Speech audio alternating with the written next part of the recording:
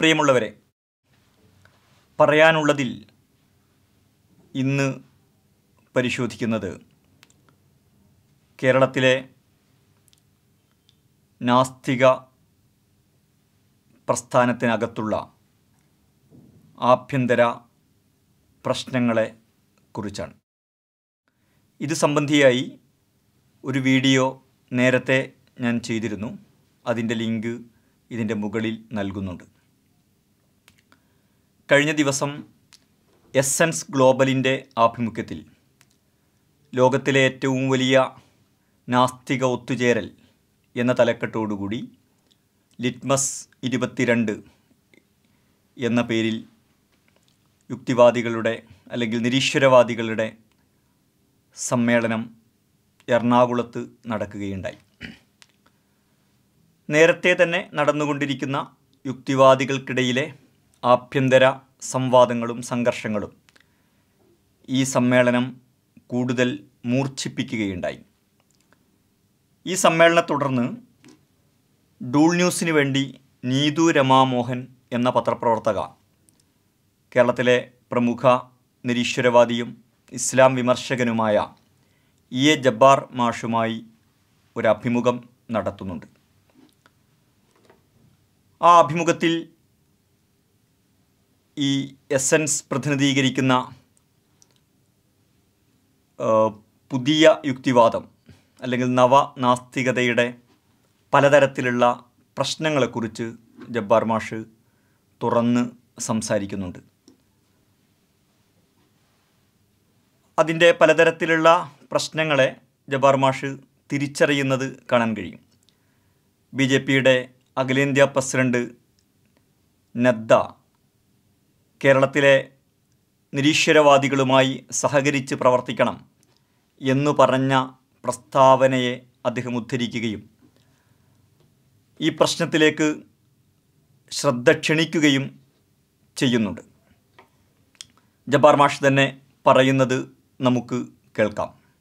കേരളത്തിലെ പൊതുബോധത്തെ സംഘപരിവാർ രാഷ്ട്രീയത്തിന് വളരാൻ പറ്റുന്ന രീതിയിൽ പതുക്കെ പതുക്കെ സമർത്ഥമായിട്ട് മാറ്റിയെടുക്കുന്ന ഒരു സാംസ്കാരിക പ്രക്രിയ ദൗർഭാഗ്യവശാൽ നാസ്തികതയുടെ ബാനറിൽ നടക്കുന്നു എന്ന ഒരു തോന്നൽ കുറച്ച് കാലമായിട്ട് എനിക്ക് പോലും അത് തിരിച്ചറിയാൻ കുറേ വൈകിപ്പോയി. ഇപ്പോൾ ഉണ്ട്. അതിന്റെ ഏറ്റവും അവസാനത്തെ ഒരു എവിഡൻസ് ആയിട്ട് വേണമെങ്കിൽ ബി ജെ പി നേതാവിന്റെ പ്രസ്താവനയെ കാണാം. കേരളത്തിലെയും ചെറിയ ചെറിയ ചോട്ടാ നേതാക്കളൊക്കെ ഇവരുടെ ഒരു സംരക്ഷകരായിട്ട് വരുന്നത് നമ്മൾ കാണുന്നു. അതാണ് ആ പറഞ്ഞതിന്റെ ഒരു ചുരുക്കം. അപ്പോൾ ഇത് തിരിച്ചറിയാൻ അദ്ദേഹം പോലും വൈകി എന്നാണ് ജബ്ബാർ മാഷ് അദ്ദേഹത്തിന്റെ തന്നെ ഈ അഭിമുഖത്തിൽ പറയുന്നത്. ഇത് കേരളത്തിൽ പലരും നേരത്തെ ചൂണ്ടിക്കാണിച്ചിരുന്ന ഒരു കാര്യമാണ്. ഇതൊരു വലതുപക്ഷ യുക്തിവാദമാണ്. അല്ലെങ്കിൽ വലതുപക്ഷ ഇതൊരു വംശീയ നിരീശ്വരവാദമാണ് എന്നത് നേരത്തെ പലരും ചൂണ്ടിക്കാണിച്ച കാര്യമാണ്. ഇനി ജബ്ബാർ ഇതെല്ലാം തിരിച്ചറിയുമ്പോഴും ഇതിന് ഇത് സംഘപരിവാറിന് അറിഞ്ഞോ അറിയാതെയോ മണ്ണൊരുക്കുന്നുണ്ട് എന്ന് അദ്ദേഹം സമ്മതിക്കുന്നുണ്ട്. അതേപോലെ തന്നെ തന്റെ തന്നെ ഇസ്ലാം വിമർശനങ്ങൾ ഇവിടെ സംഘപരിവാറിന്റെ വംശീയ അജണ്ടകൾക്ക് ഉപയുക്തമാകുന്നുണ്ട് എന്ന പ്രതിസന്ധിയൊക്കെ അദ്ദേഹം തിരിച്ചറിയുന്നുണ്ട്. അദ്ദേഹത്തിന്റെ ഇസ്ലാം വിമർശനങ്ങൾ എങ്ങനെ ഉപയോഗിക്കപ്പെടുന്നു എന്നത് ഇസ്ലാം മതവിശ്വാസികളുടെ ഒരു വിഷയമല്ല. എന്ന് മാത്രമല്ല ഇസ്ലാം വിമർശനങ്ങൾ എന്നത് ഇസ്ലാമിന് ദോഷകരമാണ് എന്നും ഞാൻ വിശ്വസിക്കുന്നില്ല. മറിച്ച് അത് ചില ആളുകളെ ചില ആളുകൾക്ക് ഇസ്ലാമിനോട് ഉള്ള വിശ്വാസം നഷ്ടപ്പെടുന്നതിന് കാരണമാകാം. വേറെ ചില ആളുകളിൽ വിശ്വാസദാർഢ്യത്തിനും വേറെ ചിലരിൽ ഇസ്ലാമിനെക്കുറിച്ച് പഠിക്കുന്നതിനുമൊക്കെ അത് നിമിത്തമാവുകയും ചെയ്യുന്നുണ്ട്. പൊതുവിൽ നമ്മുടെ ഒരു സംവാദ അന്തരീക്ഷത്തിൽ ഇസ്ലാം വളരെ സജീവമായി നിൽക്കുന്നതിന് യുക്തിവാദികളുടെ ഇസ്ലാം വിമർശനങ്ങൾ കാരണമാകുന്നു എന്നാണ് ഞാൻ മനസ്സിലാക്കുന്നത്. അതുകൊണ്ടത് ജബ്ബാർ മാഷുടെയും യുക്തിവാദികളുടെയും ഒരു വിഷയം മാത്രമാണ്. അതിൽ നമ്മൾ ഇടപെടുന്നില്ല. അത് അദ്ദേഹത്തിന് അദ്ദേഹത്തിന്റെ ഇംഗീതമനുസരിച്ച് അതിനെ മുന്നോട്ട് കൊണ്ടുപോവുകയും ഒക്കെ ചെയ്യാവുന്നതാണ്. അതേസമയം അദ്ദേഹത്തോട് നീതു ചോദിക്കുന്ന ഒരു ചോദ്യമുണ്ട്. ആ ചോദ്യം നമുക്ക് ഇവിടെ കേൾക്കാം. ഈ യുക്തിവാദത്തിൽ തുടങ്ങി പിന്നെ ഒരു വെസ്റ്റേൺ ഇമ്പീരിയൽസത്തെ സപ്പോർട്ട് ചെയ്യുന്ന ഒരു വലതുപക്ഷ നിരീക്ഷകന്റെ വിമർശനം നേരിട്ട ആളാണ് ഈ സാം ഹാരിസ് ഒക്കെ സാം ഹാരിസിന്റെ പല പല വേർഷനുകളാണ് ഇന്ന് കേരളത്തിൽ ഉള്ള പല യുക്തിവാദി നേതാക്കളും എന്നുള്ള തോന്നിയിട്ടുണ്ടോ? ആ ഒരു ചിന്ത? അതിന് എന്ന് വെച്ചാൽ ഈ യൂറോപ്യൻ സാഹചര്യം എന്ന് പറയുന്നത് നമ്മുടെ ഇന്ത്യൻ സാഹചര്യവുമായിട്ട് ഒരിക്കലും തുലനം ചെയ്യാൻ പറ്റുന്നതല്ല. സാം ഹാരിസും റിച്ചാർഡ് ഡോക്കിൻസും അതുപോലെയുള്ള യൂറോപ്യൻ യുക്തിവാദികളും അവിടെ ചെയ്യുന്ന പ്രവർത്തനങ്ങളും അവർ അവരവിടെ പ്രചരിപ്പിക്കുന്ന ആശയങ്ങളും എന്ന് പറയുന്നത് അവരുടെ സമൂഹത്തിന്റെ ഇപ്പോഴത്തെ അവസ്ഥയിൽ അവിടെ പ്രസക്തമായ കാര്യങ്ങളാണ്. പക്ഷെ നമ്മൾ അതിന്റെ ഒരു മുന്നൂറോ നാനൂറോ വർഷം പുറകിൽ സഞ്ചരിക്കുന്ന ഒരു മനുഷ്യന് വെള്ളം കുടിക്കാനോ അക്ഷരം പഠിക്കാനുള്ള അവകാശം പോലും ഇല്ലാത്ത ഒരു നാട്ടിൽ നമ്മൾ സാംഹാരിസ് പറയുന്ന യുക്തിവാദം അപ്ലൈ ചെയ്യാൻ പറ്റില്ല. അപ്പോൾ ഈ പത്രപ്രവർത്തക വളരെ കൃത്യമായി ആഗോളതലത്തിലുള്ള ഈ വംശീയ സാമ്രാജ്യത്വ സ്വഭാവമുള്ള വളരെ വലതുപക്ഷ സ്വഭാവമുള്ള ഈ നവ നാസ്തികതയെ തിരിച്ചറിയുന്നുണ്ട്. പക്ഷെ ആ ഒരു തിരിച്ചറിവ് ജബ്ബാർ മാഷ്ക്ക് നേടിയെടുക്കാൻ കഴിയുന്നില്ല. അഥവാ കേരളത്തിലെ വംശീയ വലതുപക്ഷ യുക്തിവാദത്തിന്റെ പലതരത്തിലുള്ള പ്രശ്നങ്ങളെയും അത് സംഘപരിവാറിന് മണ്ണൊരുക്കുന്നതിനെയും കുറിച്ച് വൈകിയാണെങ്കിലും തിരിച്ചറിയുന്ന ജബ്ബാർ മാഷ്ക്ക് തന്നെ ആഗോളതലത്തിൽ ഈ വംശീയ യുക്തിവാദം അല്ലെങ്കിൽ വംശീയ നിരീശ്വരവാദത്തെ കൃത്യമായി തിരിച്ചറിയാൻ കഴിയാതെ പോകുന്നു. അത് യൂറോപ്പിന്റെ ഒരു പശ്ചാത്തലത്തിൽ ശരിയാണ്. കേരളത്തിന്റെ പശ്ചാത്തലത്തിൽ വരുമ്പോഴാണ് അത് തെറ്റായി മാറുന്നത് എന്ന അബദ്ധ സിദ്ധാന്തമാണ് രാഷ്ട്രീയമായി വളരെ അപകടകരമായ ഒരു പ്രസ്താവനയാണ് ജബ്ബാർ മാഷ് ഈ അഭിമുഖത്തിൽ നടത്തുന്നത്. യഥാർത്ഥത്തിൽ ഇപ്പോൾ സാം ഹാരിസ് യൂറോപ്പിന്റെ പശ്ചാത്തലത്തിൽ ശരിയും കേരളത്തിന്റെ പശ്ചാത്തലത്തിൽ തെറ്റുമല്ല. സംഹാരിസിന്റെ അഞ്ച് പ്രസ്താവനകൾ ഞാൻ ഉദ്ധരിക്കാം. അദ്ദേഹത്തിന്റെ ദി എൻഡ് ഓഫ് ഫെയ്ത്ത് എന്ന പുസ്തകത്തിലും അല്ലാതെയുള്ള അദ്ദേഹത്തിന്റെ മറ്റു ലേഖനങ്ങളിലും ഇസ്ലാം സംബന്ധിയായി പറയുന്ന അഞ്ച് പ്രസ്താവനകളാണ്. അതിലൊന്ന് ഇസ്ലാമും നാഗരികതയും തമ്മിലുള്ള സംഘടനമാണ് ലോകത്ത് നടന്നുകൊണ്ടിരിക്കുന്നത്. അത് മൂർധന്യത്തിലെത്തുന്ന മൂർച്ഛിക്കുന്ന ഒരു ഘട്ടത്തിൽ. എന്റെ ഓഫീസിൽ അദ്ദേഹം പറയുകയാണ് ഒരു ഇസ്ലാമിക രാഷ്ട്രം അണുവായുധം കൈവശപ്പെടുത്തിയാൽ അല്ലെങ്കിൽ വികസിപ്പിച്ചാൽ നാഗരിക സമൂഹം എന്തു ചെയ്യണം? സ്വർഗത്തെക്കുറിച്ചുള്ള വലിയ ആഗ്രഹാഭിലാഷങ്ങൾ വെച്ച് പുലർത്തുന്ന ഒരു ഇസ്ലാമിക രാഷ്ട്രം അണുവായുധം കൈവശപ്പെടുത്തിയാൽ അത് നാഗരിക സമൂഹത്തിന് വെല്ലുവിളിയാണ് ഭീഷണിയാണ്. അതുകൊണ്ട് അവരിങ്ങോട്ട് ആക്രമിക്കുന്നതിന് മുമ്പ് നമ്മൾ ആ മുസ്ലിം രാഷ്ട്രത്തെ അങ്ങോട്ട് ആക്രമിച്ച് നശിപ്പിക്കണം എന്ന് മറയില്ലാതെ പറഞ്ഞ വംശീയവാദിയാണ് Sam Haris.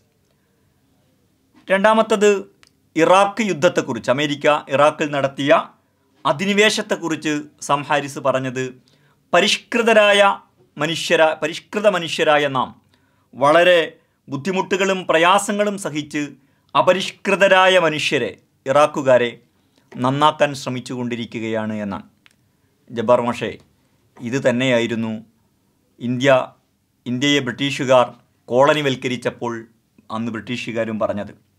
White man's burden വെള്ളക്കാരന്റെ ഭാരമാണിത്. ഇന്ത്യക്കാരെ പോലെയുള്ള സംസ്കാരമില്ലാത്ത മനുഷ്യരെ സംസ്കാരത്തിലേക്ക് കൊണ്ടുവരിക നാഗരികവൽക്കരിക്കുക സിവിലൈസ്ഡ് ആക്കുക. അതിനു വേണ്ടിയാണ് ബ്രിട്ടീഷുകാർ ഇന്ത്യയെ ആക്രമിച്ചത് ഇന്ത്യയെ കീഴ്പ്പെടുത്തിയത് ഇവിടെ കൊളോണിയലൈസ് ചെയ്തത്. എന്നതായിരുന്നു അവരുടെ അന്നത്തെയും സിദ്ധാന്തം. ആ സിദ്ധാന്തം ആവർത്തിക്കുക മാത്രമാണ് സംഹാരിസ് ചെയ്യുന്നത്. അതേപോലെ മുസ്ലിങ്ങൾക്ക് വോട്ടവകാശം നൽകരുത് എന്ന് സംഹാരിസ് പറയുന്നുണ്ട്. ഈ ചരിത്രഘട്ടത്തിൽ മുസ്ലിങ്ങൾക്ക് വോട്ടവകാശം നൽകിയാൽ അവർക്ക് ലഭിച്ച പൗരാവകാശങ്ങളുടെ അടിവേര് തന്നെ അവർ അറുത്തുകളയും സാമ്രാജ്യത്വം എങ്ങനെയാണ് മുസ്ലിം നാടുകളിൽ ജനാധിപത്യം അട്ടിമറിച്ചു കൊണ്ടിരിക്കുന്നത് അതിന്റെ ഒരു താത്വികാടിത്തറയാണ് അദ്ദേഹം പറയുന്നത്. ഫലസ്തീൻ പ്രശ്നത്തിൽ ഫലസ്തീനികൾ മനുഷ്യരെ കവചമായി ഉപയോഗിക്കുന്നു. എന്നാൽ ഇസ്രായേലികൾക്ക് മനുഷ്യത്വമുള്ളതുകൊണ്ട് അവർ ഇസ്രായേലികളുടെ മനുഷ്യത്വത്തെയാണ് ഫലസ്തീനികൾ ദുരുപയോഗം ചെയ്യുന്നത് എന്നാണ് സാം ഹാരിസ് പറയുന്നത്. അതേപോലെ മുസ്ലിങ്ങളെ സുരക്ഷ മുസ്ലിങ്ങളെയോ മുസ്ലിങ്ങളെന്ന് സംശയിക്കപ്പെടുന്നവരെയോ അമേരിക്ക വളരെ കൃത്യമായ സുരക്ഷാ പരിശോധനയ്ക്ക് വിധേയമാക്കണം.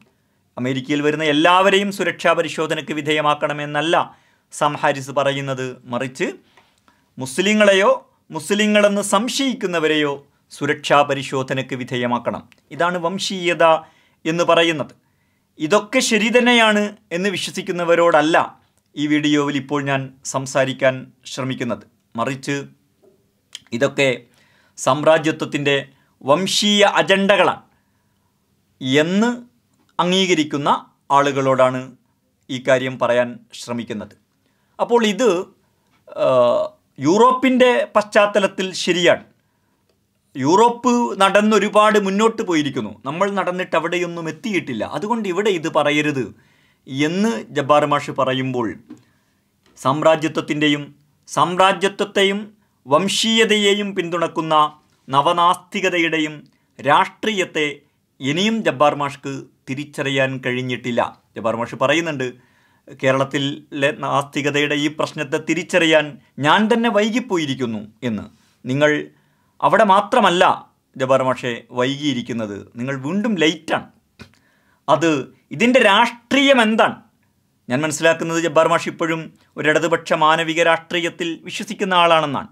പക്ഷെ അങ്ങനെ ആയിരിക്കുമ്പോഴും ഈയൊരു പുതിയ നിയോ എത്തീസത്തിന്റെ രാഷ്ട്രീയത്തെ തിരിച്ചറിയുന്നതിൽ താങ്കൾ ദയനീയമായി പരാജയപ്പെടുകയാണ്.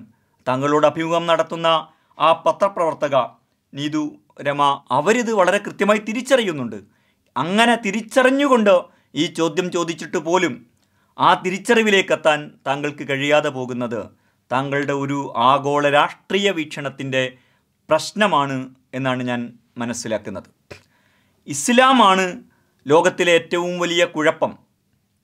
അല്ലെങ്കിൽ നന്ന ചുരുങ്ങിയത് ഇസ്ലാം ലോകത്തിലെ ഏറ്റവും വലിയ ഒരു കുഴപ്പമാണ് എന്ന് വിശ്വസിക്കുന്ന ഒരാൾക്ക് ലോകരാഷ്ട്രീയത്തെ ഒരിക്കലും ശരിയായി തിരിച്ചറിയാൻ കഴിയുകയില്ല. അങ്ങനെയുള്ള ഒരാളെ സംബന്ധിച്ചിടത്തോളം ഫലസ്തീനികൾ നടത്തുന്ന ചെറുത്തുനിൽപ്പ് തീവ്രവാദമായിരിക്കും. അതേപോലെ യൂറോപ്പിന്റെ കോണ്ടക്സ്റ്റിൽ സാം ഹാരിസ് വേറൊരു കാര്യം ഒരു സ്ഥലത്ത് പറയുന്നുണ്ട്. യൂറോപ്പിൽ മുസ്ലിങ്ങൾ പെറ്റ് പെരുകിക്കൊണ്ടിരിക്കുകയാണ്. അതിനെ അത് യൂറോപ്യൻ സംസ്കാരത്തിനും സമൂഹത്തിനും വലിയ ഭീഷണിയാണ് എന്ന ഫാഷിസ്റ്റ് വാദം സാം ഹാരിസ് ആവർത്തിക്കുന്നത് കാണാൻ കഴിയും. എന്നാൽ ഇതിന്റെ ഒരു മറുവശം എന്താണെന്ന് ചോദിച്ചാൽ ജർമ്മനിയിൽ മുസ്ലിം നാടുകളിൽ നിന്നുള്ള അഭയാർത്ഥികൾ വന്നപ്പോൾ ജർമ്മൻ ഗവൺമെന്റ് അവരെ വലിയ അളവിൽ സ്വീകരിക്കുകയാണ് ചെയ്തത്. അഭയാർത്ഥികളെപ്പോലും അത്ഭുതപ്പെടുത്തുന്ന രീതിയിൽ അവരെ വെൽക്കം ചെയ്തുകൊണ്ടുള്ള ബാനറുകൾ സ്ഥാപിക്കുകയും അവർക്ക് അപ്പോൾ തന്നെ ഐഡന്റിറ്റി കാർഡുകൾ നൽകുകയും ഒക്കെ ചെയ്തു. അത് അവരുടെ ഒരു മനുഷ്യത്വത്തിന്റെ മാത്രം ഭാഗമല്ല. മറിച്ച് യൂറോപ്പിൽ മനുഷ്യർ അവർക്കാവശ്യമായ വർക്കിംഗ് ഫോഴ്സ് ഇല്ലാതായിക്കൊണ്ടിരിക്കുന്നു. അവരുടെ ഒരു ജീവിതശൈലി സംസ്കാരം കാരണമായിട്ട് മറുഭാഗത്ത് കുറെ കൂടി കുടുംബ ജീവിത മൂല്യങ്ങൾ മുന്നോട്ട് വെക്കുന്ന മുസ്ലിം സമൂഹത്തിൽ ഇപ്പോഴും മനുഷ്യരുണ്ടാവുന്നു. ഈ കാര്യങ്ങളൊന്നും തിരിച്ചറിയാതെ മുസ്ലിങ്ങൾ പെറ്റുപെരുകുകയാണ് ഈ മുസ്ലിങ്ങൾ വർദ്ധിക്കുന്നു എന്നത് യഥാർത്ഥത്തിൽ ലോകത്ത് മൊത്തത്തിൽ മനുഷ്യരുടെ സ്കേഴ്സിറ്റി അനുഭവപ്പെട്ടുകൊണ്ടിരിക്കുന്ന ഒരു കാലത്ത് ഏത് സമൂഹവും ഉണ്ടായാലും മനുഷ്യരുണ്ടായാലും അത് മനുഷ്യരാശിക്ക് നൽകപ്പെടുന്ന ഒരു സംഭാവനയാണ്. നമ്മൾ മനുഷ്യരാശിയുടെ ഭാഗത്ത് നിന്ന് ആലോചിക്കുമ്പോൾ അങ്ങനെ കാണാൻ കഴിയാതെ പോകുന്നത് വംശവിദ്വേഷത്തിന്റെ ഫലമായിട്ടാണ്. ഇങ്ങനെയൊക്കെയുള്ള അങ്ങേയറ്റത്തെ വംശീയമായ സാമ്രാജ്യത്വത്തെ പിന്തുണക്കുന്ന സയനിസത്തെ പിന്തുണക്കുന്ന മുതലാളിത്തത്തെ പിന്തുണക്കുന്ന നിലപാട് സ്വീകരിക്കുന്ന നവനാസ്തികതയുടെ രാഷ്ട്രീയത്തെ ജബ്ബാർ മാഷ്ക്ക് തിരിച്ചറിയാൻ കഴിയാതെ പോകുന്നത്. ഇസ്ലാം ഒരു മഹാപ്രശ്നമാണ്. ലോകത്തിലെ വലിയ പ്രശ്നം ഇസ്ലാം തന്നെയാണ് എന്ന് കരുതുന്നത് കൊണ്ടാണ്. ആ ഒരു അളവുകോൽ ആ ഒരു മെത്തഡോളജി രീതിശാസ്ത്രം ഉപയോഗിച്ചുകൊണ്ട് ലോകസംഭവങ്ങളെ വിശകലനം ചെയ്താൽ ഈ ഉത്തരത്തിൽ തന്നെയാണ് എത്തിച്ചേരുക. മറിച്ച് ലോകത്തിന്റെ യാഥാർത്ഥ്യം എന്താണ് ആരാണ് ലോകത്ത് വലിയ അതിക്രമങ്ങൾ നടത്തിക്കൊണ്ടിരിക്കുന്നത്? ആരാണ് അതിനെതിരായ പ്രതിരോധങ്ങൾ നടത്തുന്നത്? മുതലായ ശരിയായ ഒരു രാഷ്ട്രീയ വിശകലനം നടത്തുക. ഇത്രയും വലിയ ഇസ്ലാമിനെ വലിയ അപകടമായി കാണുന്ന ഒരാൾക്ക് അത്തരം വിശകലനം നടത്താൻ കഴിയുകയില്ല എന്നത് നമ്മൾ അംഗീകരിക്കേണ്ടുന്ന ഒരു കാര്യമാണ്. അതുകൊണ്ട് തന്നെ ലോകത്ത് നടന്നുകൊണ്ടിരിക്കുന്ന ഇസ്ലാം വിരുദ്ധതകൾ അല്ലെങ്കിൽ മുസ്ലിങ്ങൾക്കും ഇസ്ലാമിനുമെതിരെ സാമ്രാജ്യത്വവും സയനിസവും വലതുപക്ഷ ശക്തികളും വംശീയവാദികളും ഒക്കെ നടത്തുന്ന കാര്യങ്ങൾ അതിന്റെ കോണ്ടക്സ്റ്റിൽ ശരിയാണ്. എന്ന് പറഞ്ഞാൽ അതിന്റെ അർത്ഥം എന്താണ്? അമേരിക്ക ഇറാഖിൽ നടത്തിയ ആക്രമണം ശരിയാണ്. അത് യൂറോപ്പിന്റെ കോണ്ടക്സ്റ്റിൽ അല്ലെങ്കിൽ വെസ്റ്റിന്റെ കോണ്ടക്സ്റ്റിൽ ശരിയാണ്. അതേപോലെ ഫലസ്തീനിൽ ഇസ്രായേൽ നടത്തിക്കൊണ്ടിരിക്കുന്ന അതിക്രമങ്ങൾ ഇസ്രായേലിന്റെ ഒരു പശ്ചാത്തലത്തിൽ അല്ലെങ്കിൽ വെസ്റ്റിന്റെ പടിഞ്ഞാറിന്റെ ഒരു പശ്ചാത്തലത്തിൽ അത് ശരിയാണ്. അഭയാർത്ഥികൾ പെറ്റുപെരുകുന്നു എന്ന നാസി ഫാഷിസ്റ്റ് പ്രചരണം ഇറ്റലിയുടെയോ യൂറോപ്യൻ രാജ്യങ്ങളുടെ കോണ്ടക്സ്റ്റിൽ ശരിയാണ് എന്ന് ജബ്ബാർ മാഷ് ഇപ്പോഴും വിശ്വസിക്കുകയാണ്. അഥവാ രാഷ്ട്രീയമായ ശരികേടിന്റെ ആ- ശരികേട് സംഭവിക്കുന്നതിന്റെ കാരണം ഇസ്ലാം ലോകത്തിലെ ഒരു വലിയ പ്രശ്നമാണ് എന്ന തെറ്റായ രാഷ്ട്രീയ സിദ്ധാന്തത്തിന്റെ ഫലമാണ്.